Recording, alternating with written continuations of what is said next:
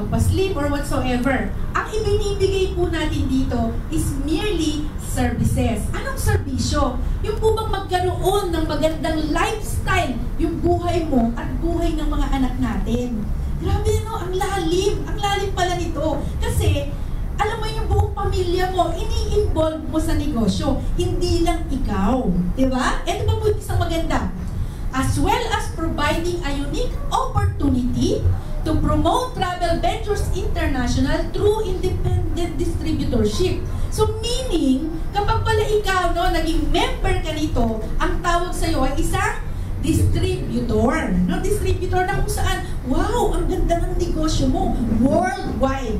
At pag tinanong ka, pare, Mari, ano bang ginagawa mong negosyo? Well, I'm promoting travels and tourism. Ibig sabihin? Wala pare, palamye-lamye na lang. Kung saan-saan nagpupunta. Kasi ito po yung negosyo namin. Share. Share po lahat ng experience na napuntahan mo. Lahat ng hotel, lahat ng places na puntahan mo, sinishare mo lang po sa ibang people. Para maganda po nun, even them, ma-experience nila kung ano yung na-experience natin. Okay? Maganda po ba? Yes. Ah, next please. Okay, our vision is to be the number one. Huwag na po kayong mag-alala. Lahat po tayo nag-i-aim na maging global at maging number one po. Kasi, sa totoo lang, pag sinabi, sino ba number two? Wala naman po nakakaalam kung sino number two. Lahat tayo, number one. Okay? By providing opportunities, instilling leadership, creating millionaires, and touching a billion hearts. So medyo mas malalim po no, yung ating vision. And, ito po yung mission naman na ginagawa natin sa ngayon, okay? Along the way po, na na-involve ka dito sa company po natin, which is Travel Ventures International, we inspire people and help others making a positive change in their lives. Medyo malalim, hindi lang pang sarili, no? Pangmalakihan po ito. Okay? Next please. Kaya po in, Travel Ventures, one world, one vision, and one family. Actually po, ang ganda ng feeling no, kapag nakita-kita ulit yung magkakakilala, na parang talagang family po yung ginagawa, yung paggawa natin sa negosyong ito. Okay? The club members benefits. If you become a member of Travel Ventures, ano-ano po ba no, yung mga benefits na pwede mong makuha? Number one, tandaan po natin, discounts to hotels and resorts worldwide through online and offline booking. There are lots of members po na nag-benefit na po dito sa Travel Ventures. Lahat po ng kanilang mga uh, pagpunta po sa mga hotel, sa Hong Kong, sa Japan, grabe po, pagbalik nila dito, tuwang-tuwa sila. Kasi po nakatipid talaga sila. Okay? Number two po, we have our own business website. So kung member ka, nakatipid ka na po ano, doon sa pagpunta mo sa hotel, resorts, may business website ka pa. Okay? Nakasama. Okay? And, excellent business opportunity to earn. Not only earn, but to earn Infinite. infinite income. Grabe no, tuloy-tuloy. Tuloy-tuloy. Okay? And, meron po tayong support and world-class leadership trainings na kung saan po binabago ikaw na individual. From ano po? From nobody to become Somebody. somebody. Yun po yung maganda doon. Okay? Next please. Yan po yung mga benefits. Three mega trends. Ito po, explain ko lang sa inyo, no? Ito pong maganda dito. Yung company, pinagsama-sama po niya yung tatlong malalaking mega trends. Yung po bang usong-uso na negosyo sa ngayon? Sa era natin, sa kapanahon na natin ngayon. Number one po is the travel and tourism. Malu, bakit maganda naman ang travel and tourism? Guys, pag ito po ang negosyo mo, grabe po, pangmatagalan. Bakit? May nakita na po ba tayong airport na walang laman? Yung walang nagta-travel or mga hotels na vacant? May nakita na po ba?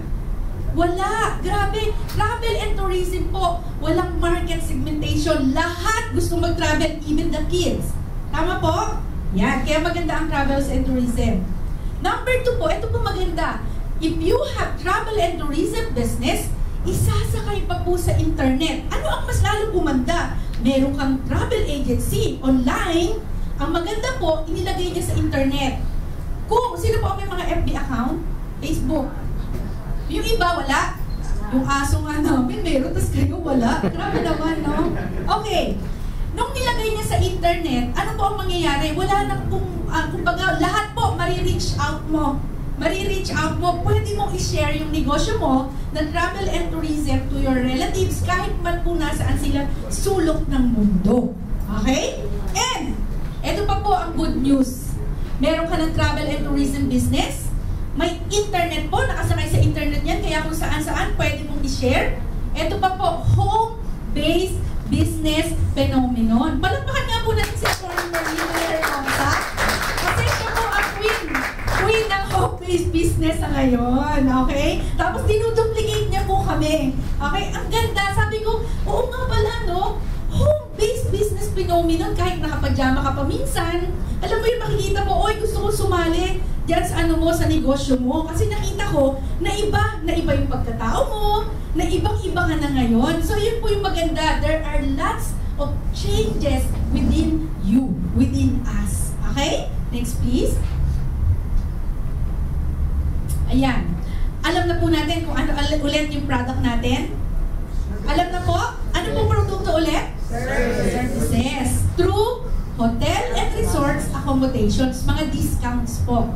Okay? Kasi some other people, baka mamaya, ang ganda, ang ganda ng negosyo, sa tinanong ka, produkto mo? Wala, wala akong nakita dun eh. Dapat po naiintindihan natin ha, na ito po ang ating negosyo. Ang discounts po sa hotel and resorts around the world. Okay, ngayon, kung gusto po natin na magkaroon ng financial freedom, meron pong ibinibigay si company na magkakaroon po tayo ng compensation plan for those members na gusto po talaga na maiba yung buhay. Yung magkaroon po ng total changes. Okay? So, members work to earn in a number of ways. So, meron po tayong kailangan gawin. Okay? So, meron po tayong tinatawag na revolving matrix. Ano ba mismo yung revolving matrix? Okay? Sige po. Revolving matrix po, later, didiscuss ko po sa inyo isa-isa. Meron pa po tayong tinatawag na residual income, business generation bonus, and the power pool. So ito pong apat na to, ang pwede po pala na mag-earn ka ng commission. Ano, habang ginagawa mo yung negosyo, nag-sis, nag-share ka po ng good news, grabe po yung i-reward sa atin ng company. Okay, pag-usapan po natin ang revolving matrix. Revolving matrix po, yan po yung una na papasukan mo or yung una na pwede po tayong kumita ng income through Travel Ventures International. Okay? So, sa revolving matrix, meron lang po tayong travel at that, ano po, uh, kailangan maintindihan na dalawang board. Okay? Number one is the traveler board. Sabihin nga po natin, traveler board. Traveler board. Okay. Lahat ng bagong member dito po sa ano na to no sa discount club na ito walang ibang pupuntahan kundi traveler board okay? Kasi po let's say nag-member po anong name mo ma'am? Chessy Chessy okay let's say si Miss Chess para ano na lang no? Maikli na lang. Chess okay. Let's say si Miss Chess nag-member po siya ng Travel Ventures. Yung pong membership niya ay magiging business account. Sabihin niya po natin, business account. Business account. Yan. So sa traveler board po, let's say, nagpunta ka na doon, tapos nagtulong-tulong po tayo na gawin doon, na gumawa ng negosyo, and once po na nag-exit ka or binigyan ka po ng komisyon ng company, ang unang komisyon na marireceive mo ay 30,000 pesos. Maganda na po ba? May 30,000 ka na, Miss Jessie? Chels? Yes. Yan. So, 30,000.